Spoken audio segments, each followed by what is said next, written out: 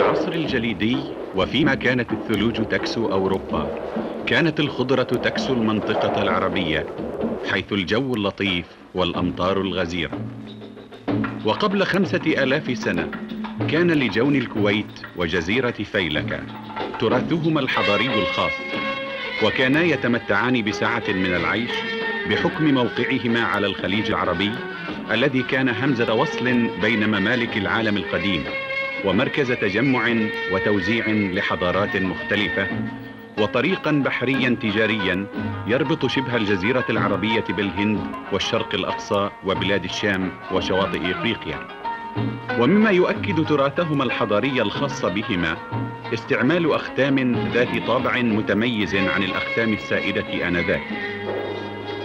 وفي عام 1710 رحل آل الصباح مع أبناء عمومتهم وغيرهم من الأسر ذات الشأن والتي تعود بالأصل إلى قبيلة عنيزة في نجد بسبب القحط والجفاف الذي أصاب موطنها الأم آنذاك وقبل أن يصلوا إلى شواطئ الخليج حيث الماء والاستقرار سقط الكثيرون منهم في الطريق نظرا للصعوبات الجمة التي واجهتهم أثناء ترحالهم. وفي عام 1756 أجمع الكويتيون على اختيار الشيخ صباح الأول ليكون أول حاكم من آل الصباح. ولقد اتخذ الشيخ من الشريعة الإسلامية أساسا للحكم باعتبار أن الكويت بلد إسلامي. إنه حقا لأمر غريب أن يتعلم سكان الصحراء هؤلاء حياة البحر بهذه السرعة الفائقة. بما في ذلك بناء أضخم المراكب آنذاك والاتجار بها. لقد بنى أهل الكويت سفنا أفضل من تلك التي كانت تبنى في منطقة الخليج عموما. وكانت هذه السفن تشاهد وهي تجوب شواطئ الهند وفي كل منطقة من شواطئ الشرق. وكانوا يقومون بجلب الأخشاب اللازمة لصنع المراكب والسفن من بلاد الهند. وكان بناؤوهم لا يستخدمون من الأدوات سوى البلطة والمقداح في صناعاتهم سواء كانت السفينة بحجم كبير أم صغير. إلى جانب أعمال بناء السفن والبحث عن اللؤلؤ والتجارة فإن رجال الكويت قاموا بتربية الخيول العربية القوية السريعة القادرة على تحمل ظروف الصحراء القاسية وحرارتها. وكانت هذه الخيول تباع في جميع أنحاء الوطن العربي وهي تعتبر بحق أصل الخيول العربية الشهيرة في كل بقاع العالم.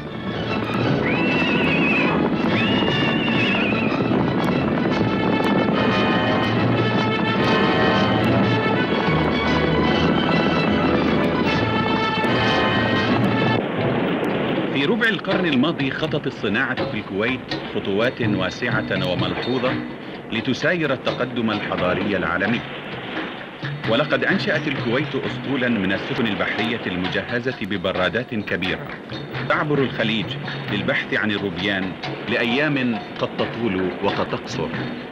فعندما يكون البحر هائجا فالصيد قليل بينما يقوم البحارة بالعمل على مدار الساعة عندما يكون البحر هادئا.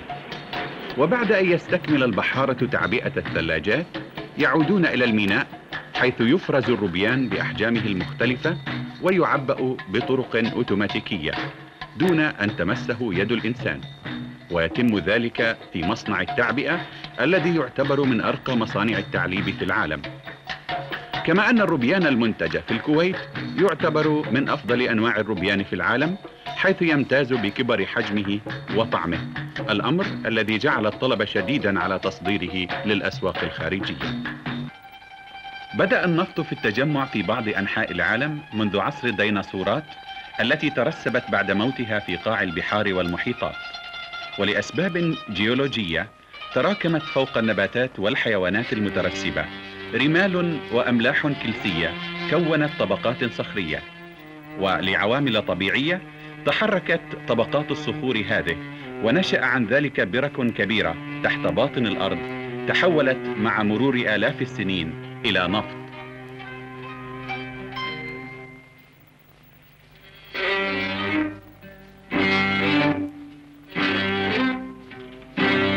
وغالبا ما يتدفق النفط بسبب عوامل طبيعية من حقول الزيت إلى مراكز التجميع ومن ثم يحول إلى معامل التكرير. ويشاهد هنا الجيولوجيون الذين يأخذون عينات لإجراء الاختبارات على النفط الخام. ومن حسن طالع الكويت أنها غنية بكميات النفط الكبيرة المخزونة تحت سطح الأرض. إذ تحتل المركز الثالث بين الدول المنتجة للبترول في منطقة الشرق الأوسط والمركز السادس بين دول العالم.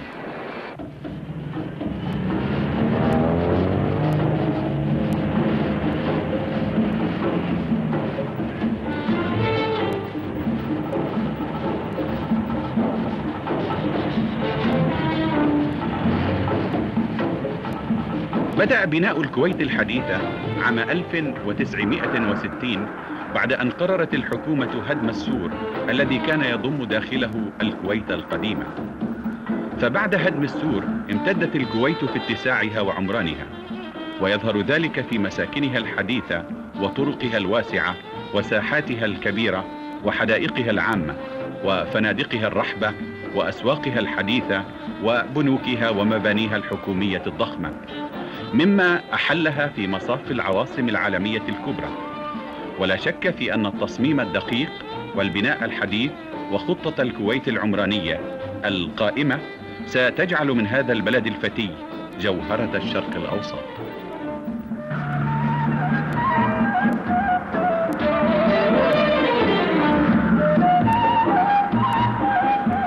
تعتبر الكويت مركزا تجاريا عالميا مجهزا بأحدث وسائل الاتصال السلكية واللاسلكية.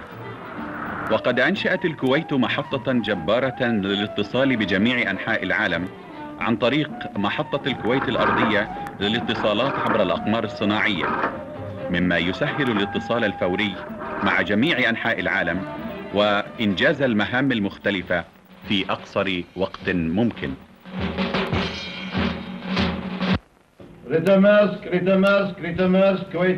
ومما هو جدير بالذكر أن البواخر في عرض البحر تكتظ خارج موانئ الكويت منتظرة الإذن لها بالرسو قريبا من الشاطئ ليسهل تفريغها. ومما يلاحظ أن بواخر شحن الحيوانات والخضار والطعام تعطى الأولوية في التفريغ. ويعتبر ميناء الشويخ ميناء رئيسيا لاستقبال الواردات. ولا سيما وأنه مجهز بمخازن وعنابر واسعة جدا. ولذلك فإننا نرى أن كثيرا من البواخر من جميع الدول البحرية تأم الكويت. وهناك شركات دولية تساهم في هذا البرنامج الصناعي المدروس بكل عناية ودقة. وعندما تكتظ أرصفة الميناء بشكل لا يسمح لرسو سفن أخرى تقف السفن في عرض البحر تفرغ حمولتها في زوارق صغيرة. وإذا كانت البضائع المراد نقلها إلى موانئ دول تقع على الخليج بكميات قليلة فإن السفن الصغيرة أي الدوب تقوم بهذا العمل مؤدية بذلك خدمات جليلة تساهم في بناء ثروة البلد. وبالرغم من تقدم النشاط التجاري والصناعي في الكويت تقدما كبيرا وبمستوى عالمي فإن روح التدين تسيطر على كل النواحي الأخرى عند الكويتيين المتمسكين بالدين والقيم الإسلامية والمحافظين على العبادة والصلاة. ولذلك فإننا نرى كثيرا من المساجد الجميلة مع مآذنها الشامخة مكونة مناظر جذابة في جميع أنحاء البلاد.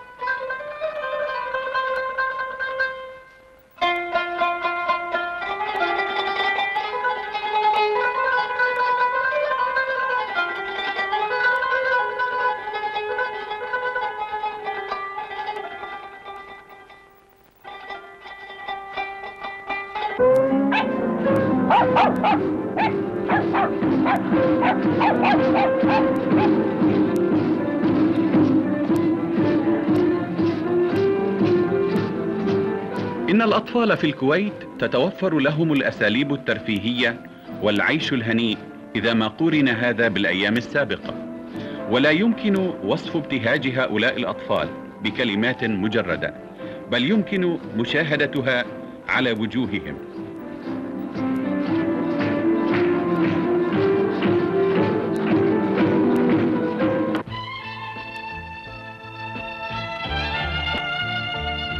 ومما هو جدير بالذكر أن حكومة الكويت الرشيدة تعطي أولوية خاصة للتعليم وللحياة الاجتماعية القائمة على اعتبار أن الكويتيين أسرة واحدة.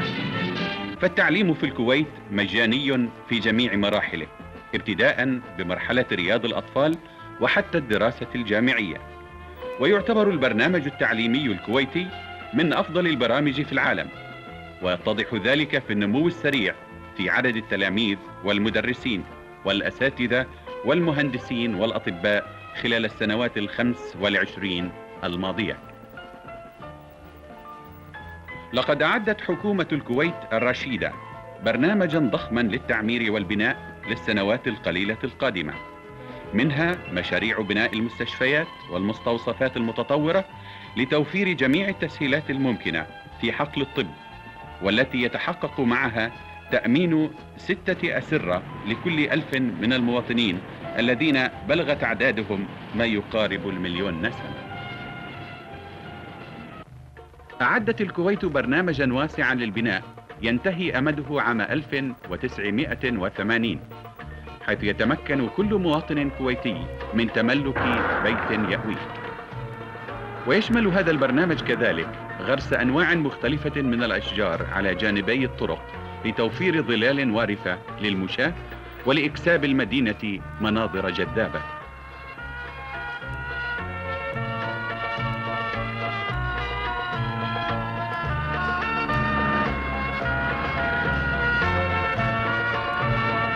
إنها حقا لمتعة أن تجمع الكويت في منشآتها بين الفن والهندسة العربية القديمة والفن الهندسي الحديث.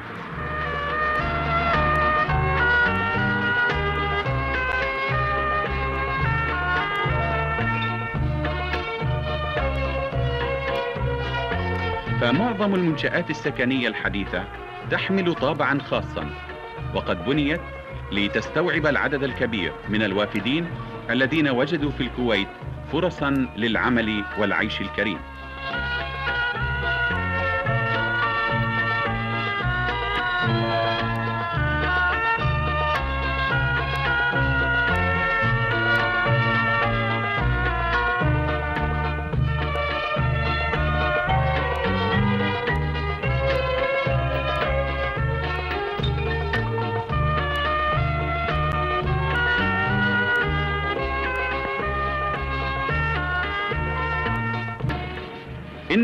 لمن المذهل حقا أن ترى صباح كل يوم ما يقارب ثلث مليون سيارة تجوب شوارع المدينة.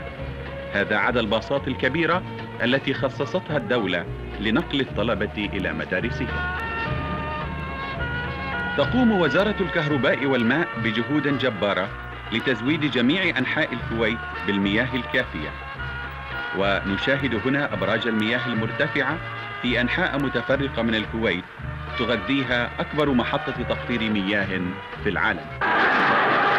إن كرة القدم هي اللعبة الرياضية المفضلة في الكويت. فلكل مباراة مشجعون ومحمسون بأعداد غفيرة على نحو ما هو عليه الحال في إنجلترا وألمانيا وبقية البلدان الأوروبية. واللاعب الكبير ينال دائما إعجاب وتقدير الجميع.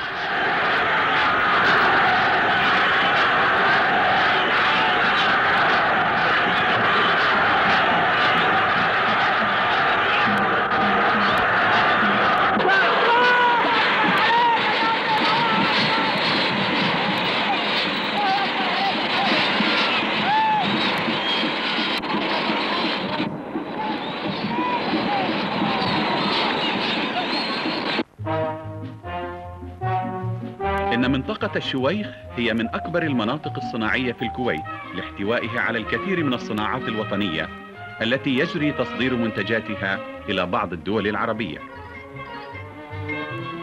لقد أعدت وزارة الكهرباء والماء برنامجا ضخما لزيادة توليد الطاقة في محطاتها إلى 2550 ميجا واط وذلك لتغذية المصانع بالطاقة اللازمة لها ولمواجهة الاتساع المنتظر في عدد هذه المصانع مستقبلا.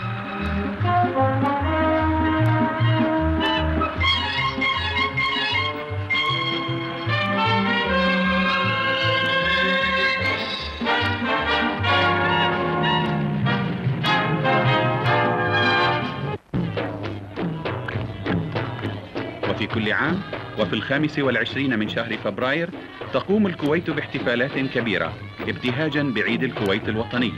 تشترك فيه كافة المدارس والنوادي والشركات الأهلية وجميع المواطنين من كويتيين ومقيمين.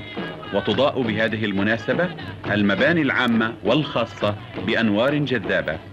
كما تجرى عروض تشترك فيها قطاعات مختلفة وتحلق الطائرات خلالها في سماء الكويت ويسهم فيها الشعب بجميع فئاته حيث يخترق المشتركون بهذه العروض شوارع الكويت الرئيسية حاملين علم الكويت وأعلام المؤسسات الخاصة وسط جو مليء بالبهجة ومظاهر الزينة والفرح. وتقام بهذه المناسبة رقصات شعبية ومهرجانات خاصة تتناسب مع جلال هذه المناسبة.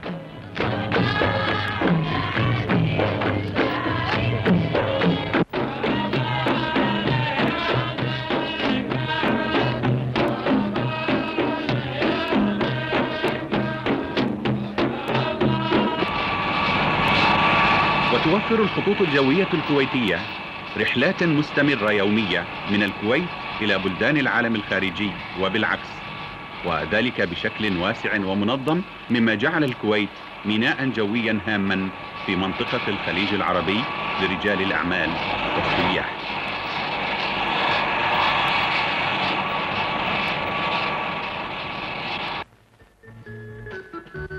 وفي مجال الزراعة اهتمت الكويت بإنشاء محطة التجارب الزراعية التي اعتمدت وطبقت أسلوب الزراعة بدون تربة من ضمن برامجها. ولقد أثمرت الجهود المبذولة عن إنتاج أنواع من الطماطم لاقت نجاحا باهرا في الكويت. كما أن زراعة الفراولة كان لها هي الأخرى نصيب وافر من النجاح كذلك. إن كافة الدلائل تشير إلى أن الكويت ستخطو خطوات واسعة وجبارة في ميدان زراعة الخضروات بكافة أنواعها للعناية الفائقة التي تبذلها الدولة في هذا الميدان. وفي ميدان الثروة الحيوانية تقوم الكويت باستيراد الأبقار من ألمانيا الغربية وبلاد أخرى لتربيتها في مزارع نموذجية. إن التجارب التي أجريت على الأغنام في الكويت أسفرت عن إيجاد نشء جديد من الأغنام يمكنه مقاومة الأمراض. ومربو الأغنام في العالم يراقبون عن كثب نتائج هذه التجارب. ومما يلفت النظر أن محطة التجارب الزراعية تقوم بزراعة كميات كبيرة من النخيل مما يبشر وعلى مر السنين أن تعود الكويت خضراء بهذه الأشجار كما كانت عليه قبل ألف سنة. وقد يدور في خلد الإنسان عما يفعله في أوقات فراغه بالكويت. والجواب الصحيح على ذلك هو الذهاب إلى نادي الصيد والفروسية وخاصة خلال شهور الصيف حيث يمتع المرء ناظريه برؤية الخيول العربية الأصيلة والجميلة وهي تسابق الريح.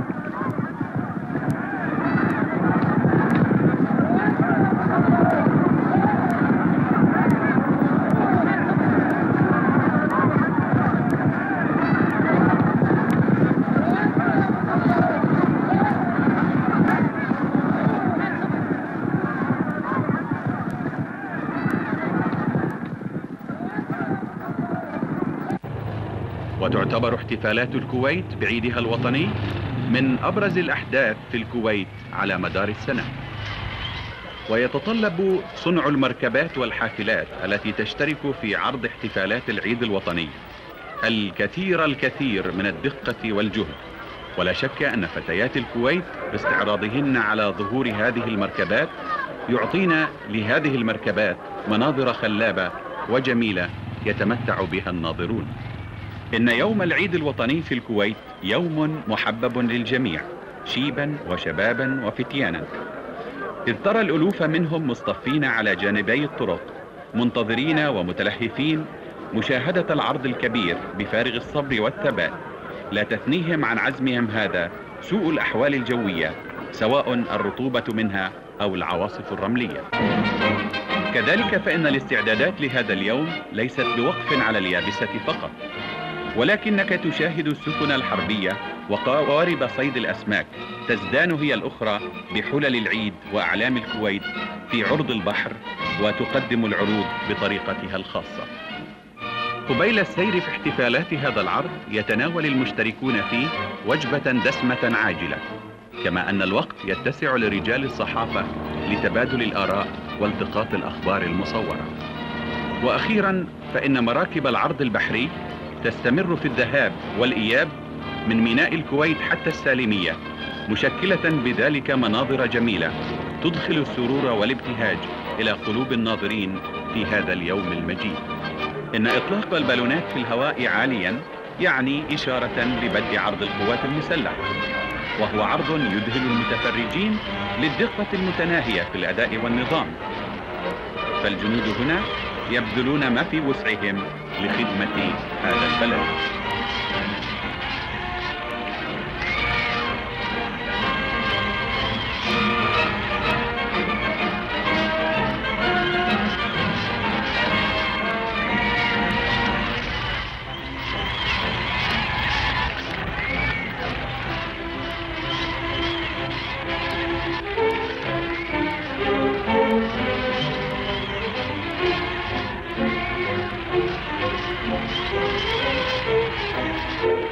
لا يقتصر العرض على ما تقدم. فطلبة المدارس يستعدون مسبقا ليشاركوا في هذا اليوم الجليد فترى منهم المهرجين المقنعين يجلبون أنظار الأطفال في الشوارع.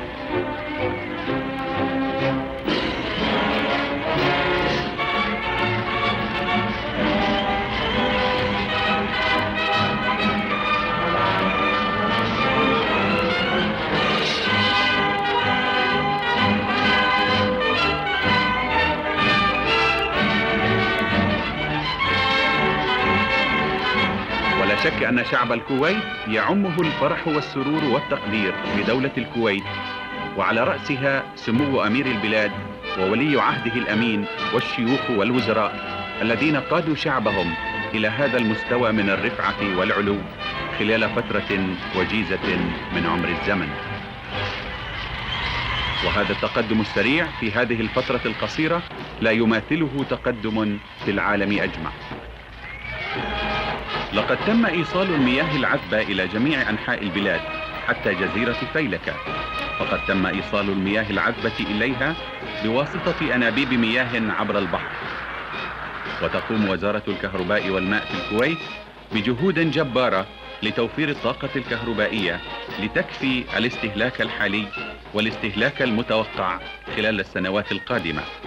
وفي سبيل ذلك فإن الوزارة المذكورة تخطط لمواجهة الاستهلاك المنتظر خلال السنوات القليلة القادمة. وعندئذ سيتمكن المواطنون من إضاءة منازلهم من الخارج في المناسبات الخاصة وأعياد الاستقلال وبذلك فإن الكويت ستبدو وكأنها عروس الخليج. إن إنشاءات الكويت وأبنيتها من أفخم وأرقى أبنية الشرق الأوسط. وأبراج الكويت التي يبلغ ارتفاع أحدها 180 مترا تطل على المدينة. ومن الجدير بالذكر أن مشاريع الكويت لا تنفذ إلا بعد تخطيط دقيق وتنظيم متكامل. ومن لا يشاهد الكويت عن كثب لا يستطيع أن يصدق ما وصلت إليه هذه البلاد من تقدم إذ يصعب أن تعم الحياة المدنية الحديثة في بيئة صحراوية خلال فترة وجيزة من عمر الزمن. وعلى يمينك طالع الساعة وطن الكويت وطن الكويت لقد انتقلت الكويت من حياة الماضي إلى الحياة الحاضرة بسرعة فائقة. فمن بيوت اللبن والطين إلى البنايات الشاهقة ومن الطرق الوعرة غير المعبدة إلى الطرق السريعة المعبدة والمنظمة غاية التنظيم. ومن توزيع المياه بالقرب على المنازل إلى أكبر نظام تحلية للمياه في العالم. وذلك كله خلال فترة قصيرة من عمر التاريخ. إن تقدم الكويت يسير إلى الأمام ويسير بثبات دون توقف.